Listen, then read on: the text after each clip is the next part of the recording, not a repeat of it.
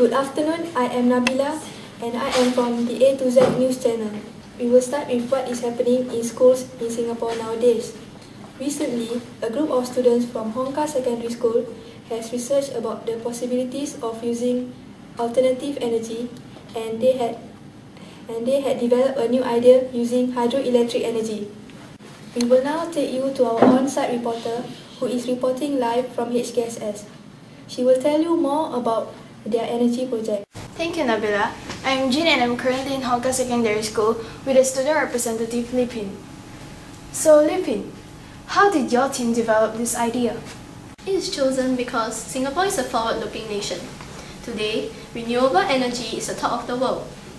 We would like to follow the footsteps of clean energy. The scenario of the number of high-rise buildings and the regular rainfall in Singapore has made us think through the possibility of borrowing the technology of hydroelectric power and apply it in this context. Do you think this is significant for Singapore? It is important is because, being an urbanized city, Singapore has many high-rise buildings and high rainfall. Around 82% of the population resides in public housing high-rise flats. Singapore also experiences high rainfall, especially during the monsoon season.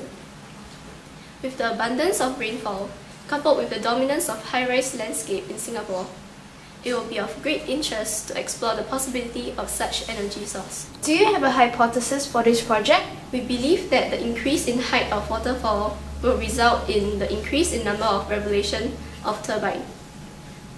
Our prelim preliminary study is carried out with the mock-up turning wheel structure. This is our experiment setup. It has the meter rule, the retort stand, and the turning wheel structure. Firstly, set up, we set up, the set up and construct the turning wheel structure. Next, we hold the meter rule just above the turning wheel using the retort stand.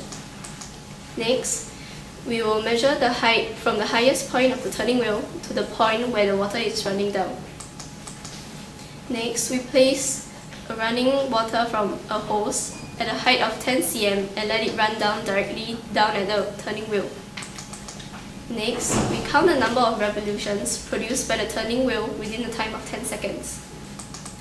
And lastly, we repeat the experiment and for heights of 20 cm and 30 cm. Note that the data suggests its potential as a possible energy source for Singapore. Further study will be carried out to power low-power electric appliances such as light bulbs for the mock-up structure. So, Mr. Azim, what do you feel about this project so far? Hmm. What we hope to achieve from our investigation is to explore the feasibility from our preliminary study using a simplified setup.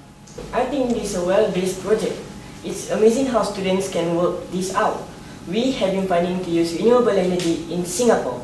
I hope that this project will take off in a big way and be implemented in for the future of Singapore. See. Well, what do you hope to achieve?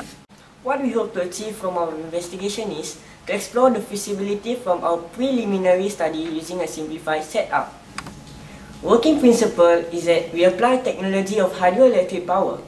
Water behind the dam possesses potential energy and when it is channeled through turbine, the mechanical energy can be used to generate electric current. The amount of power that can be obtained is directly related to the height of the water from which it falls and the flow rate of the water. When the height of the water source is 10 cm, the number of revolution is 10. When the height of the water source is 20 cm, the number of revolution is 13. When the height of the water source is 30 cm, the number of revolution is 15. Therefore, the number of revolution produced by the falling water increases with the height of the fall of the water. We conclude that the data suggests its potential as a possible energy source for Singapore. Further study will be carried out to power low-power electric appliances such as light bulbs for the mock-up structure.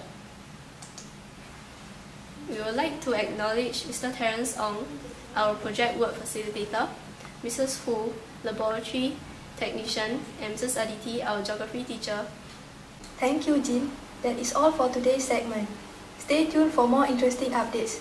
I am Nabila, signing off. Have a nice day.